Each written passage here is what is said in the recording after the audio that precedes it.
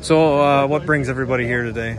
To And who's here? exchange the flag from Colorado to Nebraska. And we, one, one flag bearer brings it to here, exchanges it, and then we'll take it on over to Kearney and exchange it, and then it'll go exchanged in Grand Island, and then in Omaha is where it'll stay for the rest of the year. Kind of like a passing of the torch, Yes. son. Started in May in Omaha, and it went to every 50 states. And then came back to here. It'll be rested for the winter. Why did it start uh, in Nebraska? That's where it ended up last year, and each state usually gets uh, their turn at, at uh, care, taking care of the flag for the year. And it's growing every year. It's been going at it for quite a few years. I've been at it since I think 2007.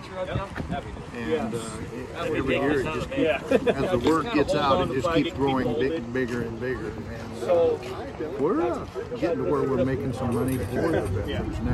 Where it's actually usable, you know. And uh, we try to help them out the best we can. There we go.